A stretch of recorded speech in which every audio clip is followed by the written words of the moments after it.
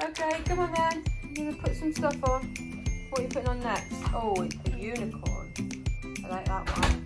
I like them. Yeah, okay. We are decorating cakes today, aren't we? Mm. That's it. We can put some more and we can save some for the sprinkles as well. Actually, should we put some sprinkles on then put a unicorn on it? Wow, that looks lovely. I love that. I love that. Go for it. Steady.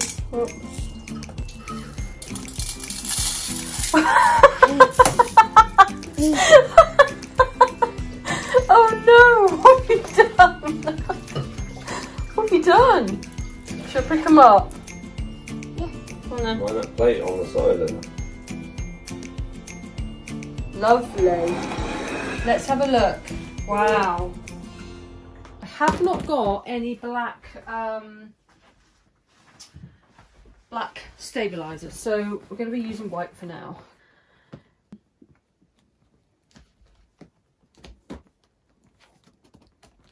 Okay.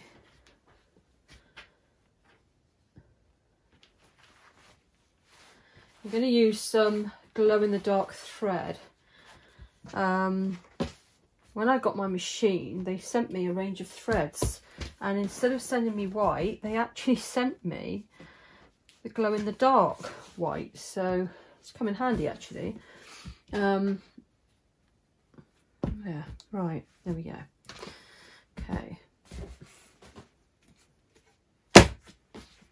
Okay, just give that a quick pull, just make sure everything's nice and tight. I'm just going to be doing a font, okay, a Halloween font for this.